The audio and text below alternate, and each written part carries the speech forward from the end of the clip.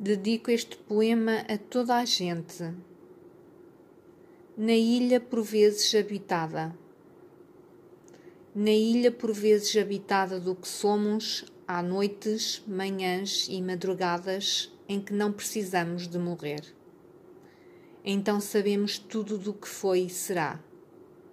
O mundo aparece explicado definitivamente e entra em nós uma grande serenidade e dizem-se as palavras que a significam.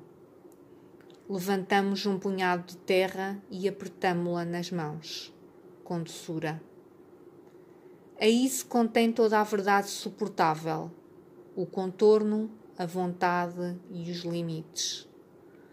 Podemos então dizer que somos livres, com a paz e o sorriso de quem se reconhece e viajou à roda do mundo infatigável porque mordeu a alma até aos ossos dela. Libertemos devagar a terra onde acontecem milagres como a água, a pedra e a raiz. Cada um de nós é por enquanto a vida, isso nos baste. José Saramago